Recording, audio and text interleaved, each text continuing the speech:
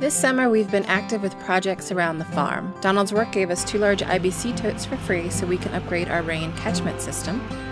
Our new neighbor that moved into Bernie's old house also gave us a free IBC tote, so we are set when it comes to water for our garden and animals now. This is extra important for us because our property has a very shallow well. It's only like 17 feet, so any length of time without rain could be problematic. We decided to wrap them in black plastic after watching a video from Doug and Stacy and wanted to avoid the algae that comes from allowing sunlight to come through the plastic. We also found some snapping turtle eggs in our garden that we decided to relocate and keep them out of our immediate area.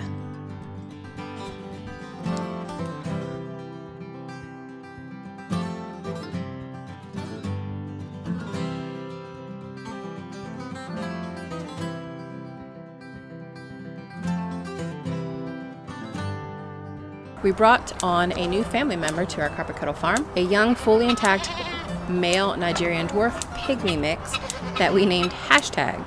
Can help with that if you get them out here. We've been wanting to breed for a bit now, and this was our opportunity from another local homestead.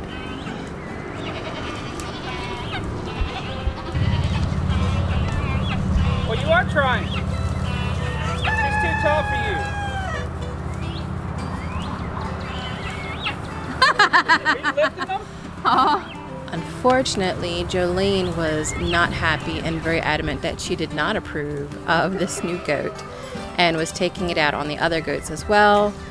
So, unfortunately, we made the hard decision to part with Jolene at one of the local livestock auctions. After that, though, all of the goats seemed way happier than they had been in a very long time, and hashtag settled in nicely. She's trying. She's like three times your size, bro. Do you need me to pick you up? So nicely that we now have two pregnant mama Nigerian dwarf goats that are expected to deliver in the next couple weeks. He's gonna get a running start. a running start and leap. Ready? Why do you pick the biggest girl? Yeah, you're supposed to go after Oreo.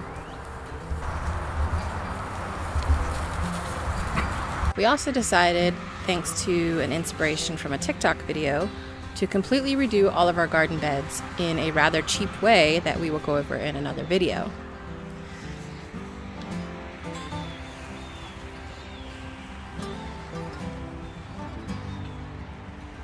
The difference in our garden from the previous years and now this year is pretty exciting for us. While we were a little behind on some things in our gardens, we've managed to get most of what we wanted planted, and the weather has been pretty forgiving, enough to grant us good rain and good sunshine. And our tomato plants are currently taller than us. We stopped by some local farms to continue to build relationships with them and support local farmers. And since raw milk is legal here in Pennsylvania, we had to stock up on some of our favorite. We expanded our flock by not only hatching our Delaware chickens, but we also snagged some from Tractor Supply since we never see Delaware pullets there. We decided that on that day we would go ahead and pick up a bunch.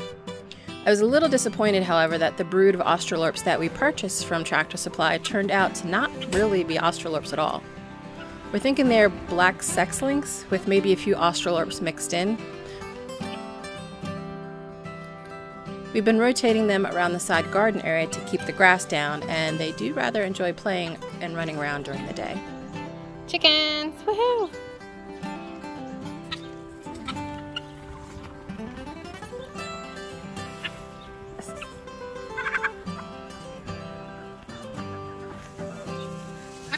Just after July 4th, we got an email from Murray McMurray that our Freedom Ranger peeps were in, so I hopped in the truck and headed to the post office to pick them up. Everyone on the staff and even other locals who were picking up mail were pretty tickled at the sound of them, and I love taking a small trip through Gettysburg.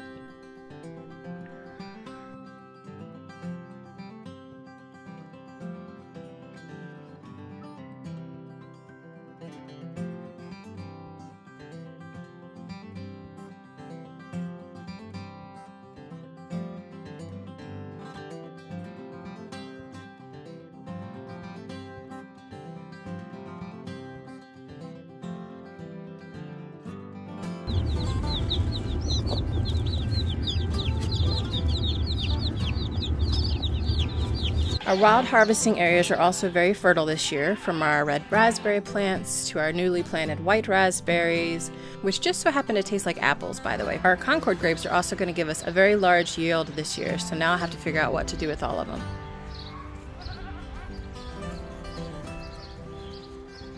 My elderberry plants are the largest I've ever seen, and I'll be working on various ways to make a mix of syrups, tinctures, gummies, and who knows what else to let us enjoy them throughout the year.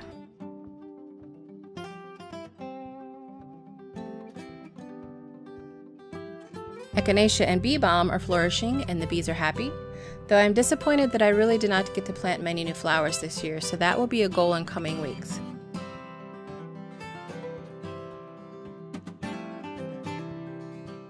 And summer is really not summer if you don't take a break now and then and really enjoy some peace and quiet in the outdoors.